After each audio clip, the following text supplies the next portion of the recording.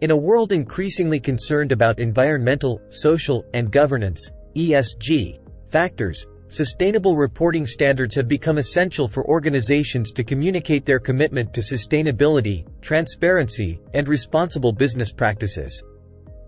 Three prominent frameworks that guide sustainable reporting are the Global Reporting Initiative, GRI, the Sustainability Accounting Standards Board, SASB, and the International Integrated Reporting Council, IIRC.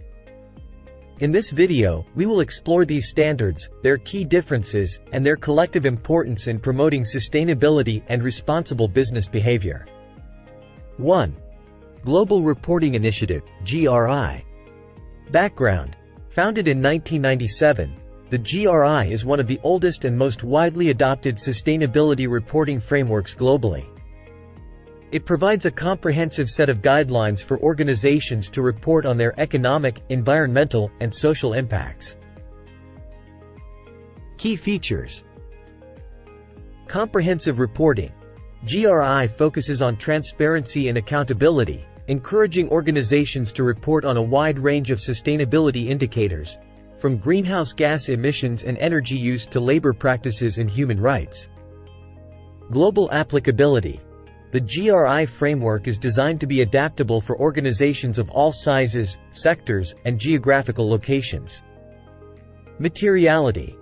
GRI emphasizes the importance of identifying and reporting on material aspects, which are issues that are significant to an organization and its stakeholders.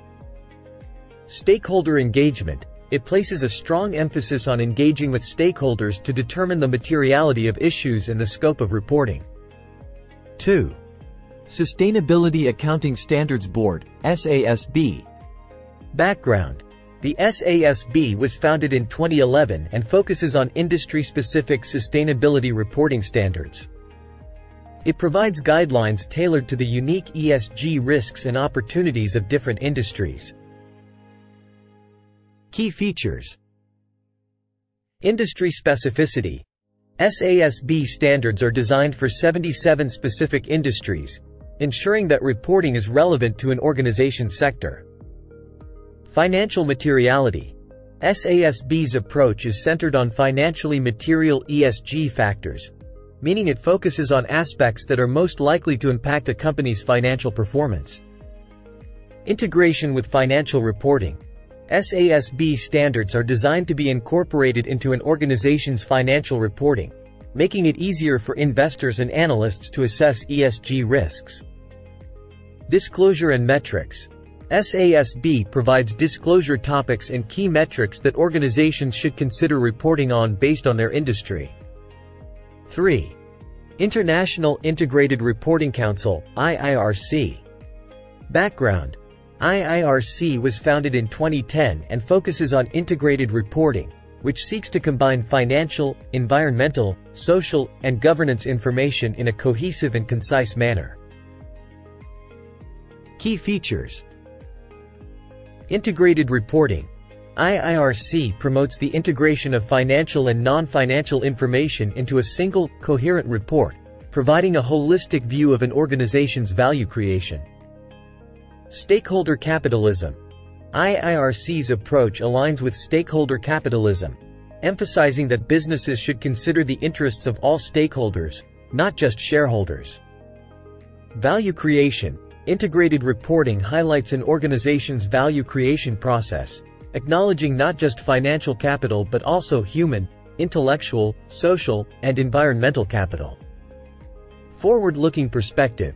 It encourages organizations to include information about their future strategies and how they intend to create and preserve value. Key differences and complementarity. Scope.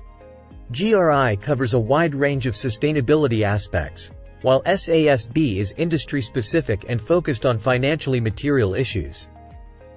IIRC seeks to integrate these aspects into a cohesive narrative. Stakeholder engagement. GRI and IIRC emphasize stakeholder engagement for determining materiality, while SASB considers materiality from a financial perspective. Integration with financial reporting.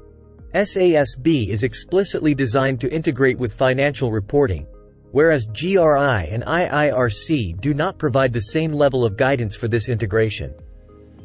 Complementarity. These frameworks are not mutually exclusive. Organizations can use GRI, SASB, and IIRC standards in combination to provide a more comprehensive and tailored view of their sustainability performance. Importance of sustainable reporting standards. Sustainable reporting standards are critical for several reasons. Transparency and accountability. They promote transparency, enabling stakeholders to assess an organization's sustainability practices and hold it accountable. Risk management. Reporting helps organizations identify and manage ESG risks and opportunities, which can impact their long-term financial performance. Investor confidence. Investors increasingly consider ESG factors in their decision-making, and standardized reporting makes it easier to assess and compare companies. Stakeholder engagement. Reporting frameworks encourage organizations to engage with their stakeholders, promoting dialogue and collaboration. Long-term value creation. Sustainable practices are often associated with long-term value creation and resilience in an evolving business landscape.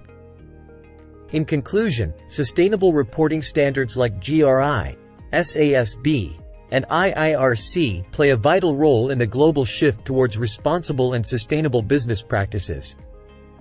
While these standards have distinct focuses and approaches, they can complement each other, allowing organizations to tailor their reporting to their specific needs and circumstances. As the demand for ESG information continues to grow, these frameworks will remain essential tools for organizations looking to communicate their commitment to sustainability and ethical business behavior.